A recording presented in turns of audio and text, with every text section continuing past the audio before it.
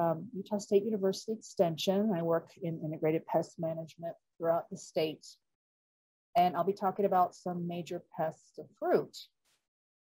And I want to kind of get you guys uh, thinking while I'm talking, um, since I'm talking about fruits. Does anyone want to put in chat what this fruit is in this picture? And then I'm going to have some other pictures as well throughout where I'll ask you to tell me what you think it is. So this will also tell me if you guys are actually uh, listening. yes, thank you. Nectarine. So I have an easy one here. Nectarine, yes. Apricot. I'm sorry, apricot is correct, Vera.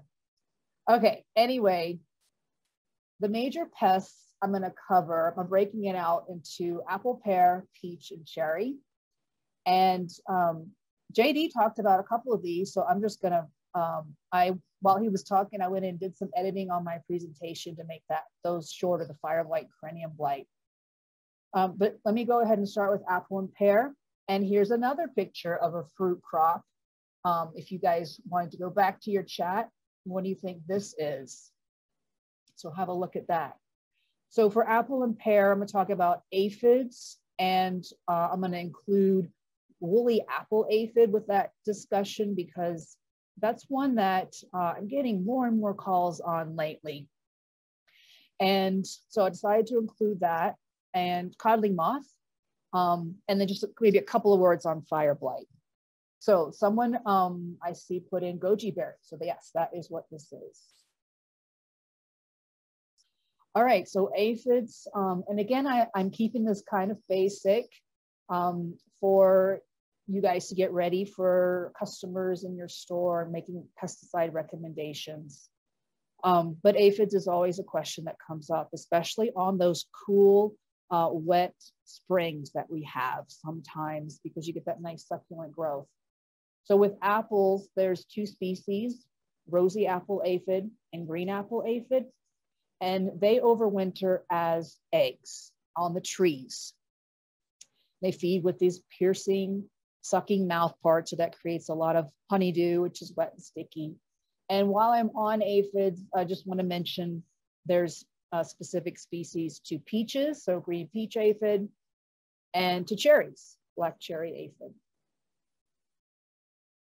And just a note that I wanted to make you aware of um, is that one of the aphids, the rosy apple aphid, can actually result in this distortion of the fruit when the aphids are feeding in the flower cluster area. It's just these toxins from their saliva that results in that distorted fruit. So I know that, you know, people who work in garden centers often get customers that bring in these different uh, samples and want them identified. We can always help identify them, but it's good for you guys to have a sense of what's going on too. Okay, so I mentioned that woolly apple aphid is becoming more prevalent in backyard trees, which it hadn't been before. Um, so it's a little bit different in terms of its management and its life cycle, but it can reduce tree vigor. And if it's very heavy on young trees, that it could actually kill them. Um, this is, I like this picture because it shows all the different places where these aphids are found and where they're feeding. So they can be in these uh, old pruning cuts at the juncture of a, a, branch, a twig, at the base of a stem, um, old wounds. So those are the types of areas that they like to feed. And they're different from those other aphids in that they overwinter number one, as an adult. And number two, they're mostly found on the roots rather than up in the tree. Some of them will be in the tree, but most of them are on the roots. Uh, and we also don't see them in the tree really until mid-spring. Whereas the aphids feeding on the foliage, we see them soon after the leaves emerge. Uh, so when people ask about the woolly apple aphid, it's after it looks like this. And the tree is just kind of dripping with this cottony substance. Um, in all the way up to October, we've gotten calls from people. But really, like I said, if you're looking at the tree, people can go and see it. The colonies start to form around mid-May, mid to late May. But once it gets at that point, it's very difficult to manage.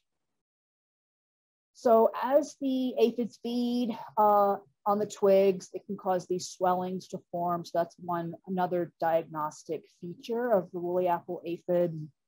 Those swellings may split. Uh, but I mentioned they feed on the roots as well. And their feeding on the roots also causes uh, those swellings. And that is what really contributes to the decline in vigor of these trees. I'm just gonna do something real quick.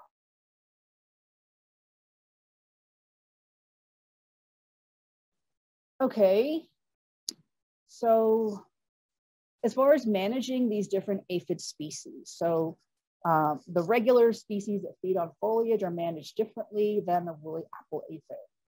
And so we recommend the timing uh, to deal with those that overwinter is eggs, as I mentioned, is to go ahead and do a good application on the tree when it's dormant. And I say dormant, but what I really mean is this term called delayed dormant. And what that means is the timing between the buds starting to swell and when they're about uh, any one of these stages shown in these pictures. So this is actually a pear, uh, cherry, and peach. So basically before bloom. And I don't have a picture of an apple there, but we call the, the end timing for apple half inch green. So that oil can be applied during any of that time period uh, because that's when those eggs are starting to become a little bit active and they're more susceptible to treatment. And so the problem we run into is that people are wanting to put their oil on like now, and it's just too early. It's too early for that dormant oil application. So on the flip side, the woolly apple aphid management um, and also targeting the regular aphids after they're on the foliage. There's a couple of options here. And I'm just showing you some uh, active ingredient names because I know that each one of your businesses sells different products. So I didn't want to put a product name. Um, so I'm just giving you some ingredient names. The uh, insecticidal soap or oil are organic and would only be effective with a real good, strong application that's going to target those colonies. Um, mixing the two together is more effective because the oil is going to be able to penetrate into the colony a little bit better. So if you're recommending an insecticide, you might say, oh, why don't you add in um, some horticultural oil with the insecticide? I would say on this last point here, I have said the word pyrethroid. So um, if you're not familiar with that, that's any ingredient that has this, um, usually the last few letters end in thrin, and they're all related to each other. Okay, codling moth. Um, this is the primary pest of apple and pear. And typically the management might begin on average about three weeks after bloom. And this is the larva, and their goal is to tunnel into that fruit and find the seeds. So they want to feed on the seeds and then exit. And as they're feeding, they're pushing out their poo or their frass, and that's pretty easily seen on the outside of the fruits. So this insect is around all season long. And so I just want to show a quick life cycle. So they spend the winter as a larva in protected areas, and they're not in the tree for the most part. So this is another one where people may ask, well, I want to buy some oil to spray on my tree for codling moth for the dormant timing. And no, it does not take care of codling moth at that timing uh, because they're in other protected uh, areas. And in spring, they emerge as an adult moth and then they lay eggs either on the fruit or on the foliage and if you're recommending anyone to treat codling moth, it's to target the eggs that are laid on the foliage. Um, so the eggs hatch and then right away they go into the fruit. They finish their life cycle in the fruit, become mature uh, caterpillars, emerge, and this whole life cycle uh, repeats itself for about two, two to three times during the growing season. So that's why this is a pest that has to be managed almost all season long.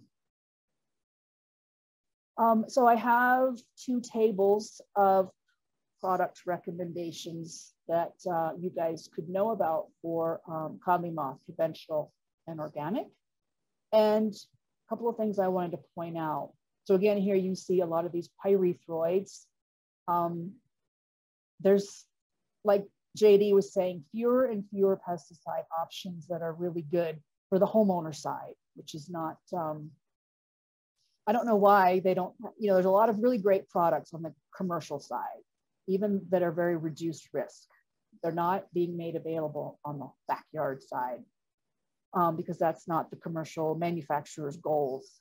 But anyway, so some of these options uh, last up to 17 days and like malathion only lasts maybe five days in terms of that residual period. Um, some things that would be important to note for talking to your customers is that some of them, for example, this product, you have to wait 21 days before eating the fruit. This product can only be used on pears. And some, mal some products that have malathion, I'm not sure why, say pears only, um, and but most of them say just a maximum of two sprays. So again, we're becoming more limited in what we can use. Um, and then some organic products are shown here. Um, and we'll have this recording for you that you guys can refer back to. I don't have time to talk about each one. All right, so JD already mentioned fire blight. I just wanted to point out, he's talked about a, um, a symptom called shepherd's crook. So that's what it looks like there. It's the bacteria started in the flowers and spread out to the shoot. Um, and then it can also get into the main trunk. And this is the bacteria oozing from the stem. Um, if someone comes to your store and says, I know I have fire blight, it's the middle of the summer, and they want to buy some antibiotic to spray, say, no, no, no, no. Um, it should, the antibiotic should only be used during bloom. Um, so after infection has happened, their only options are pruning out the uh, fire blight. And as far as pruning, JD already mentioned that um, the pruning should be done about 12 to 14 inches beyond that symptomatic uh, tissue. Okay, so here I have another picture for you guys to try and guess what kind of fruit this is shown on the right. Um, just so you know, that it could be a tree or it could be a shrub. And you guys are wrong. Wrong. not blueberry, not aronia, not currant. Hmm. Uh, so it's serviceberry. And um, if you haven't grown serviceberry, I highly recommend it. Although JD might not because they do get iron chlorosis a little bit. Um, but the berries, I just love them. Um, anyway, so with peach, I wanted to cover gummosis and greater peach tree borer. So the reason I wanted to co cover gummosis, um, it's not really a, a disease or a pest per se, but it is the most common question that I get. And I would assume that a lot of people would come into your stores and ask about it, saying my peach tree is oozing gumming. Um, and they always think it's borers. So anyway, the comments I wanted to make is that, um, and JD mentioned this as well, uh, a lot of our stone fruits can ooze gumming for a variety of different reasons, not caused by a pest. And so I've shown some reasons here. Um, in this picture, it the gumming that you see is kind of clear in color. So that tells me, well, it's not that big a deal. And I scraped the bark or the epidermis away from this gumming area. And you can see underneath it's nice and green and healthy. And so that's absolutely nothing to worry about. Um, I think one of the common causes of something like this is um, when the tree is over, has produced a ton of fruit the prior year. Um, it's just caused a bit, a bit of a stress on the tree. Um, but here's a picture of what gummosis might look like from borers, where it's dispersed in the tree. The gumming is kind of oozing out in a tendril-like fashion. Um, and of course, there's going to be uh, holes associated with gummosis and borers. And so the question was, what, well, what would it look like if you scrape the bark away and it was borers under there? You would probably see, and I don't have a picture of that, unfortunately, but you would see some, scrape a lot of bark away, some galleries. You actually might find a, a white little larva in there. Um, so you might have to scrape a little bit more bark away, but you should see some evidence in terms of feeding gallery or some sawdust-like frass packed into that area. Um, but the oozing might be a very dark color. And in this case, this actually is caused by a pathogen, a disease um, called Cytospora canker. So when I scrape the bark away from here, you can see the tissue underneath is starting to become brown and dead. And that's the fungus killing the outer bark and the phloem um, as it moves through the tree. So that could be another cause of the gummosis. Um, but if someone showed me this picture, usually a homeowner, they'll automatically say, I have borers, I've been spraying it, not helping. Um, and so it does kind of take a while to, to a back and forth to figure out what the problem is. Here's just another example. Um, the gumming on the left there is not quite that dark in color, but still remove the outer bark and you can see the tissue dead underneath. So again, that's the Cytospora canker. Um, it's what we call an opportunistic pathogen. So it needs a wound to enter into the tree to cause infection. So that wound could be like a pruning cut, um, winter injury, sun scald, which is common here in Utah, um, or even like cat scratches or some animal scratches on the bark. So just quickly, um, management of Cytospora. Unfortunately, you're not gonna be able to sell uh, anything. Maybe you can sell some pruners um, because you wanna make sure to tell people that they need to prune their trees properly. That's a great way to prevent Cytospora. So proper pruning practices. Um, a nice warm day in spring, or I'm sorry, in winter, people wanna get out and prune their fruit trees and apples, that's fine. But peach trees in the dead of winter um, or apricot, nectarine should not be pruned. So ideally wait, have people wait until um, into spring if they can. This is a picture of a commercial grower that's actually pruning in uh, right before bloom, which is uh, maybe a little late, but still that's, that's fine. Um, the reason is pruning in the winter can bring the tree out of dormancy a little bit, cause some wounding, result in uh, increased chance for infection. So if the buds are like this, that's a great time that you can tell people to prune their peaches. And the other thing that we see in terms of pruning is that where there are stub cuts, that's where a lot of this infection happens. And so telling people to get, uh, create nice clean cuts is important.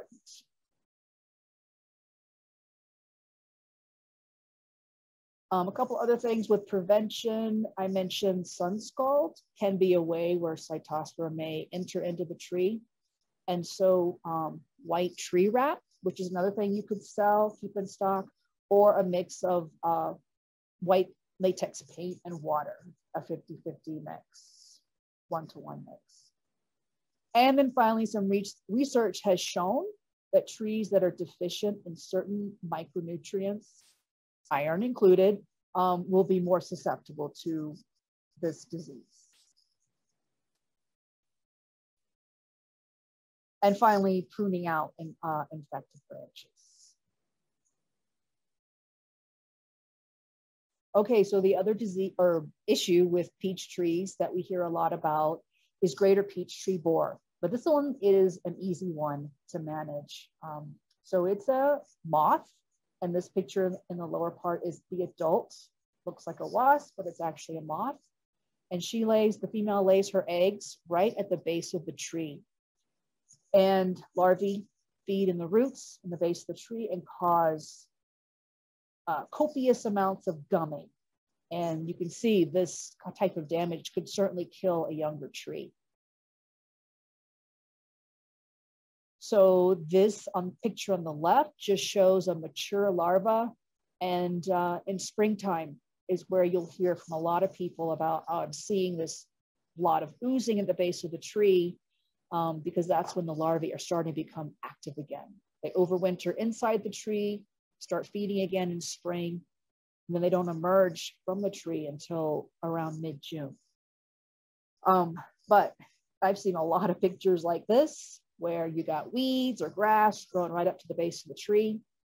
And A, that's where the moths like to go down and lay their eggs. They're nice and protected um, and can, can lay their eggs easily in there. But B, because of the turf and the weeds, people, the owners aren't noticing that ooze until several years down the road. So the I mentioned is easy to manage and um, I would just recommend an insecticide. And it's really just spraying the base of the tree up a few inches from the soil line, maybe eight inches or so, once a month from mid-June to mid-September. And products that contain permethrin um, that have peach or nectarine on the label is what you would want to recommend.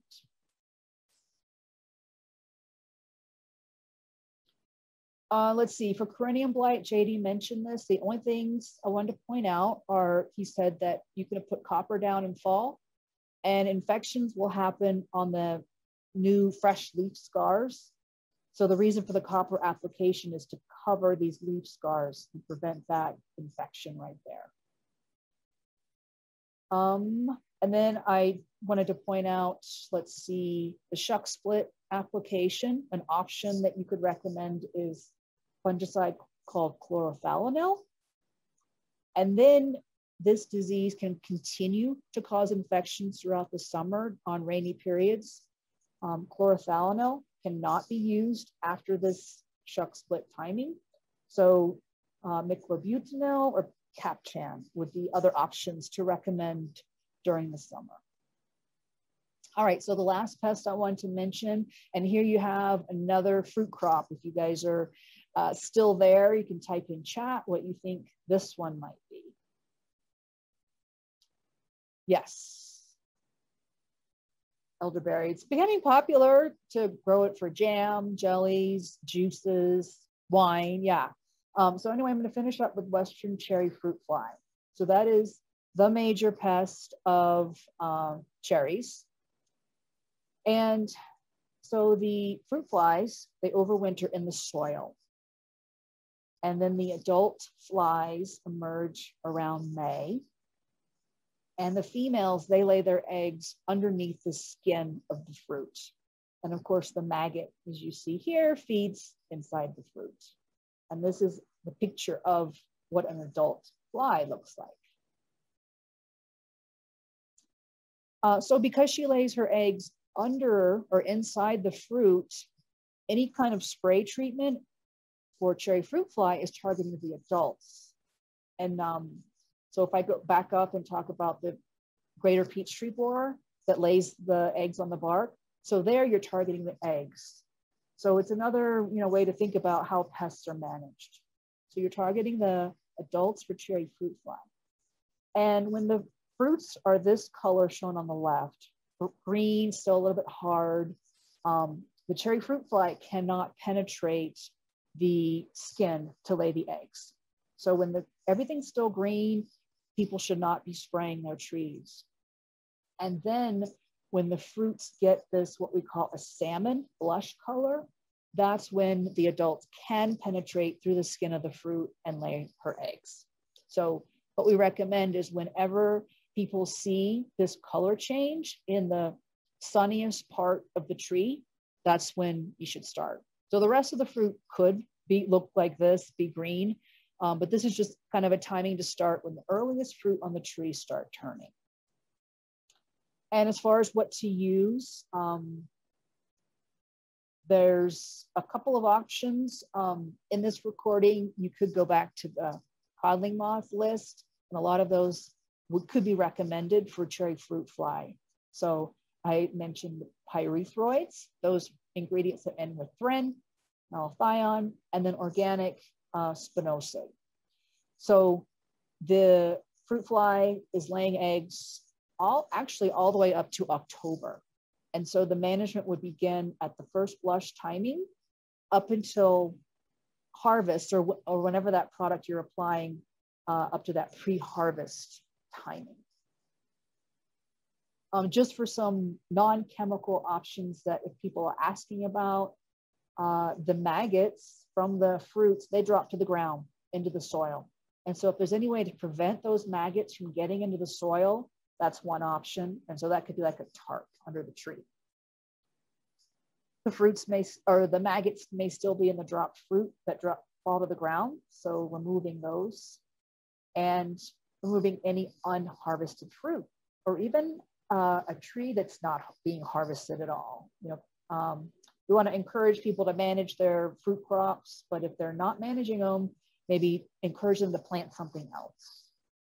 Um, and might be something you could consider selling is uh, netting, insect netting, and cover the entire tree.